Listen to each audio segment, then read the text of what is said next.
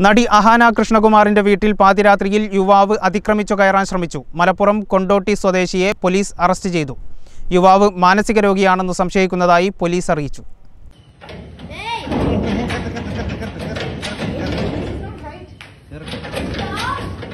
ഞായറാഴ്ച രാത്രിയാണ് നടി അഹാന കൃഷ്ണകുമാറിന്റെയും നടൻ കൃഷ്ണകുമാറിന്റെയും വീട്ടിൽ യുവാവ് അതിക്രമിച്ചു കയറാൻ ശ്രമിച്ചത്.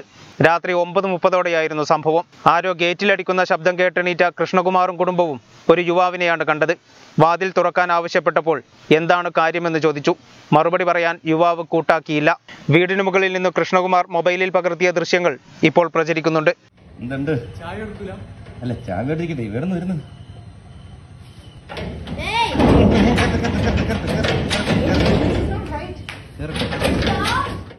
വാതിൽ തുറക്കാൻ വിസമ്മതിച്ചപ്പോൾ യുവാവ് ഗേറ്റ് ചാടിക്കടക്കുകയായിരുന്നു ഇതോടെ നടൻ പോലീസിനെ വിളിച്ചു വരുത്തുകയും പോലീസ് എത്തി യുവാവിനെ കസ്റ്റഡിയിലെടുക്കുകയുമായിരുന്നു. മാനസിക രോഗിയാണ് യുവാവെന്ന് സംശയിക്കുന്നതായി പോലീസ് അറിയിച്ചു. തിരുവനന്തപുരത്ത് മരുതംകുഴി പ്രദേശത്താണ് കൃഷ്ണകുമാറും കുടുംബവും താമസിക്കുന്നത്.